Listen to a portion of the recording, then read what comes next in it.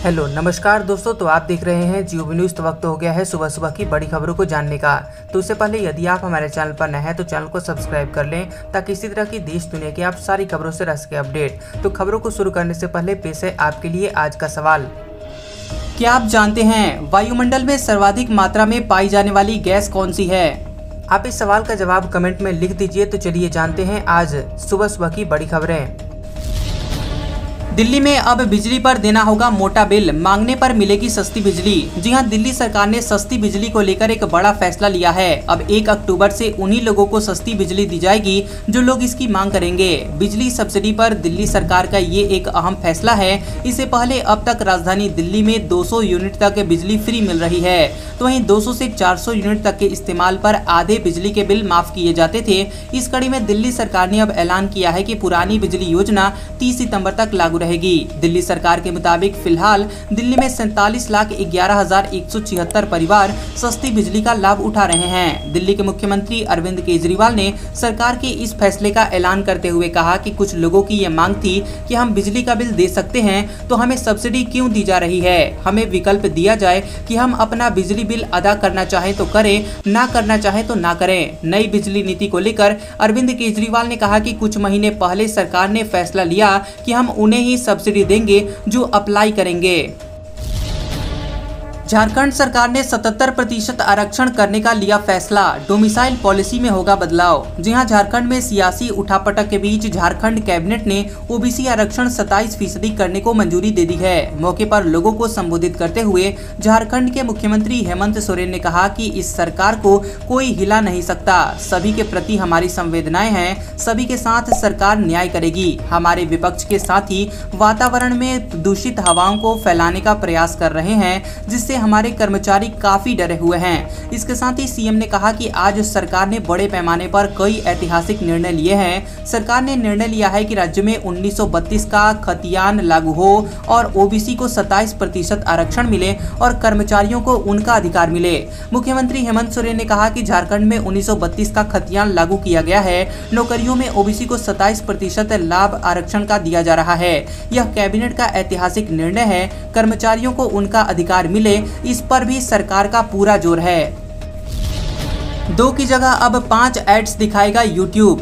इस वजह से हो रहा है नियमों में बदलाव। जी हाँ popular video streaming platform YouTube पर जल्द ही ज़्यादा एड्स देखने को मिल सकते हैं। एक रिपोर्ट के अनुसार यूट्यूब पर वीडियो शुरू होने से पहले यूज़र्स को पाँच अनस्कीपेबल एड्स दिखाई देते हैं। इस पर एड फॉर्मेट को लेकर कंपनी टेस्टिंग भी कर रही है। शुरुआत में यूट्यूब फ्री था। कुछ समय बाद सिर्फ़ कुछ ही वीडियोस में एड्स आती थी। अब आलम यह है कि हर वीडियो में एड्स देखने पड़ते हैं और ज़्यादातर वीडियो में बिना स्कीप वाले एड्स आने शुरू हो गए हैं। रिपोर्ट के मुताबिक यूट्यूब यूज़र्स इन पाँच अनस्कीपेबल एड से काफ़ी ज़्यादा नाराज़ हैं। जिन यूज़र्स को ये पायलट टेस्ट के दौरान देखने को मिला, उन्होंने अपनी नाराज़गी ट्विटर और रेडिट जैसे प्लेटफॉर्म पर शेयर की है।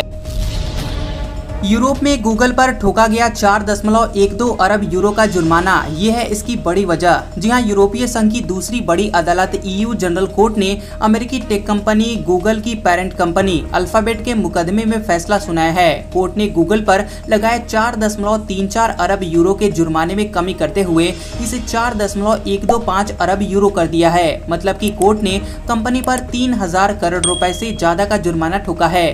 करीब दस साल पुराने मामले में यूरो यूरोपीय आयोग ने गूगल पर अपने प्रभुत्व का इस्तेमाल करते हुए कंपटीशन को खत्म करने का आरोप लगाया था। लंबी जाँच के बाद आयोग ने गूगल को कंपटीशन के नियमों का उल्लंघन करने का दोषी करार दिया। इसके साथ ही कंपनी पर चार दशमलव तीन चार अरब यूरो का फाइन ठोका है। 2018 में गूगल ने ईयू जनरल कोर्ट ने जुर्माने के खिलाफ मुकदमा दायर किया था, लेकिन गूगल को वहाँ से भी राहत नहीं मिली। दरअसल 2009 में एक पीआर फर्म ने यूरोपीय आयोग से गूगल की शिकायत की थी। जिसमें बताया गया था कि गूगल अपने प्रभुत्व का गलत इस्तेमाल कर रही है और यूरोपीय संघ के प्रतिस्पर्धा संबंधी नियमों को तोड़ रही है। दो साल के भीतर माइक्रोसॉफ्ट समेत कुछ और कंपनियाँ भी आयोग से गूगल के खिलाफ ऐसे ही शिकायतें करने लगी। शिकायतों में ये भी कहा गया कि गूगल अपने सर्च इंजन के ज़रिए अपने ही प्रोडक्ट्स को बढ़ावा दे रहा है। इसके अलावा गूगल के खिलाफ कुछ और शिकायतें दर्ज की गई थी।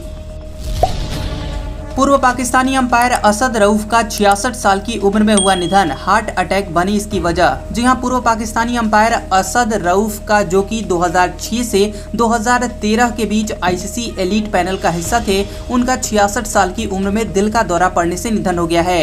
रऊफ ने 2000 में पहली बार वनडे और 2005 में पहली बार टेस्ट में अंपायरिंग की थी। उन्होंने अंपायर या टीवी अंपायर के रूप में चौसठ टेस्ट, एक एक दिवसीय अट्ठाईस टी इंटरनेशनल और 11 महिला टी इंटरनेशनल में अंपायरिंग की थी।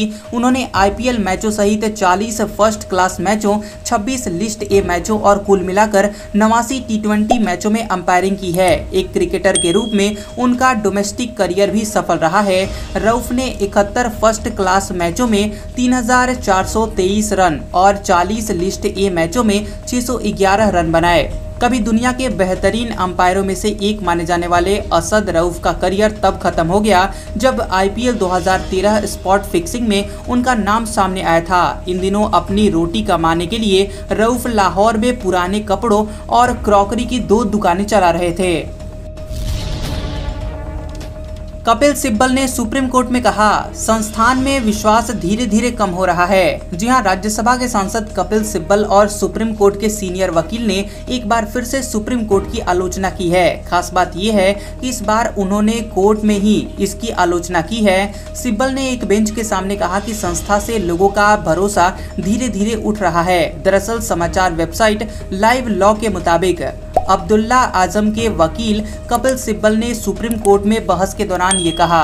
सिब्बल ने सुप्रीम कोर्ट की एक पीठ के समक्ष कहा कि संस्था पर विश्वास धीरे धीरे कम हो रहा है। सिब्बल ने कहा कि जिस कुर्सी पर आप बैठते हैं, उसके लिए हमारे मन में बहुत सम्मान है। यह एक ऐसी शादी है, जिसे बार और बेंच के बीच नहीं तोड़ा जा सकता। यहाँ कोई अलगाव नहीं है और एक बार हमें पता चलता है कि क्या हो रहा है, कभी इस छोर पर और कभी दूसरे छोर पर। और यह मेरे जैसे व्यक्ति को परेशान करता है, जिसने इस अदालत के लिए अपना पूरा जीवन लगा दिया है। जस्टिस रस्तोगी ने जवाब दिया कि हम हमेशा कहते हैं कि बार और बेंच रथ का पहिया है, लेकिन जमीनी हकीकत ये है कि ये दोनों पहिए हैं। भगवान जाने एक पहिया कहाँ जाता है और दूसरा पहिया कहाँ जाता है, जबकि रथ वहीं रहेगा। जिनपिंग और मोदी की मुलाकात पर सस्पेंस बरकरार। पुतिन से होगी खास मुलाकात। जी हाँ 15 और 16 सितंबर उज्बेकिस्तान के समरकंद में शंघाई सहयोग संगठन यानी एससीओ की बैठक है। शिखर सम्मेलन में प्रधानमंत्री नरेंद्र मोदी, रूसी राष्ट्रपति व्लादिमीर पुतिन से मुलाकात करेंगे, लेकिन चीन के राष्ट्रपति सी जिनपिंग से मुलाकात पर सस्पेंस बरकरार है। चीन ने कहा कि उसके पास राष्ट्रपति सी जिनपिंग और भारत के प्रधानमंत्री नरेंद्र मोदी के बीच अलग से मुलाकात के बारे में कोई जानकारी नहीं है। तो वहीं पुतिन और मोदी उज्बेकिस्तान में राजनीतिक स्थिरता, एशिया प्रशांत क्षेत्र की स्थिति, संयुक्त राष्ट्र और जी ट्वेंटी के सदस्य देशों के बीच द्विपक्षीय सहयोग के मुद्दों पर चर्चा करेंगे। हालाँकि भारत के विदेश मंत्रालय ने अभी तक मोदी और पुतिन के बीच बैठक की पुष्टि नहीं की है। बता दें कि यूक्रेन पर रूस के हमले के बाद 24 फरवरी को मोदी और पुतिन के बाद बीच बातचीत हुई थी। खबर के मुताबिक रूस और भारत के बीच व्यापार 2022 की पहली छमाही में बढ़कर ग्यारह अरब डॉलर पर पहुँच गया है। दोनों देशों के बीच हुए व्यापार में पिछले साल के मुकाबले 120 प्रतिशत की वृद्धि दर्ज की गई है। महारानी का ताबूत ले जाने वाले प्लेन ने बनाया रिकॉर्ड। जी हाँ, ब्रिटेन में सबसे लंबे समय तक राज करने वाली महारानी एलिजाबेथ द्वितीय का पार्थिव शरीर स्कॉटलैंड से लंदन पहुँचा। पार्थिव शरीर को एयरप्लेन के ज़रिए स्कॉटलैंड से लंदन लाया गया था। खास बात यह है कि इस दौरान उनके ताबूत को ले जाने वाले प्लेन को इतनी बार ट्रैक किया गया कि एक रिकॉर्ड बन गया है। मीडिया रिपोर्ट्स के मुताबिक इतिहास में ऐसा पहली बार हुआ है कि किसी प्लेन को इतनी बार ट्रैक किया गया हो। वेबसाइट फाइटर रडार ट्वेंटी के मुताबिक महारानी रानी के ताबूत को ले जाने वाली फ़्लाइट को इतिहास में सबसे ज़्यादा बार ट्रैक किया गया। कंपनी ने कहा कि एडिनबर्ग के हवाई अड्डे पर Boeing C seventeen globe master के ट्रांसपोंडर को चालू करने के पहले मिनट के अंदर ही 6 मिलियन लोगों ने उड़ान को देखने की कोशिश की जिससे प्लेटफॉर्म की स्थिरता प्रभावित हुई। कंपनी ने एक ईमेल के ज़रिए कहा कि बोइंग AC ऑर्गोनॉट अटलांटा में रानी के रूप में अपनी पहली उड़ान के 70 साल बाद महारानी एलिजाबेथ द्वितीय की अंतिम उड़ान फाइटर रडार 24 इतिहास में सबसे अधिक ट्रैक की जाने वाली उड़ान बन गई है। जानकारी के लिए बता दें कि ये वो वेबसाइट है जिस पर प्लेन को ट्रैक किया जा सकता है। मदरसा सर्वे पर बोले अखिलेश यादव, कहा, अगर धार्मिक जगह का सर्वे कराना न्यायपूर्ण नहीं है तो ये आस्थाओं को गहरी चोट पहुंचाता है। जी हाँ उत्तर प्रदेश की योगी सरकार ने पिछले दिनों प्रदेश भर में गैर मान्यता प्राप्त मदरसों का सर्वेक्षण कराने का फैसला किया था। सरकार का तर्क है कि इससे मदरसों की शिक्षा व्यवस्था बेहतर होगी और मदरसों को यूपी मदरसा बोर्ड से मान्यता दिलाने का प्रयास किया जाएगा। सरकार के इस फैसले पर समाजवादी पार्टी के अध्यक्ष अखिलेश यादव ने बड़ा बयान दिया है। उन्होंने कहा कि किसी भी सम्मानित धार्मिक मजहबी स्थान का सर्वे करवाना यदि न्यायपूर्ण नहीं है तो ये आस्थाओं को गहरी चोट पहुंचाता है। इंसाफ सबसे बड़ा धर्म होता है। यूपी में गैर सरकारी मदरसों के सर्वे के लिए प्रदेश सरकार ने संबंधित अफसरों को एक फॉर्मेट जारी किया है। सूबे के सभी जिला मुख्यालयों को आदेश भेजा गया है कि कुल 11 बिंदुओं पर सर्वे करके रिपोर्ट मांगी गई है। अब हम अगले 24 घंटों के दौरान देश भर के संभावित मौसम पूर्वानुमान के बारे में बता रहे हैं। अगले 24 घंटों के दौरान पूर्वी और मध्य उत्तर प्रदेश, मध्य प्रदेश के कुछ हिस्सों, उत्तरी कोंकण और गोवा और दक्षिणी गुजरात में मध्यम से भारी बारिश संभव है। उप हिमालय, पश्चिम बंगाल, बिहार के कुछ हिस्सों, सिक्किम, असम, मेघालय, उत्तराखंड और पूर्वी राजस्थान में हल्की से मध्यम बारिश के साथ कहीं कहीं पर भारी बारिश हो सकती है।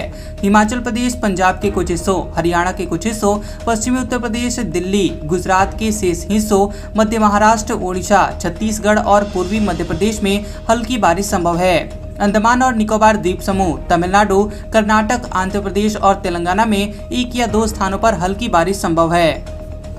आज का सुविचार, आपकी नाकामयाबी आपको अपनी गलती सुधारने और वापस दोगुनी ताकत से सफलता हासिल करने के लिए प्रेरित करती है। कैसा लगा ये वीडियो हमें कमेंट सेक्शन में ज़रूर बताएँ। वीडियो पसंद आया हो तो वीडियो को लाइक और शेयर करें और ऐसी इंटरेस्टिंग वीडियोस देखने के लिए हमारे चैनल जियो न्यूज़ को सब्सक्राइब करें और बेल आइकॉन को दबाएँ। और हमारे ओल्ड और लेटेस्ट वीडियोस देखने के लिए हमारे प्लेलिस्ट और कम्युनिटी टैब को ज़रूर चेक करें। तो मिलते हैं अगले वीडियो में। तब तक के लिए आपका शुक्रिया।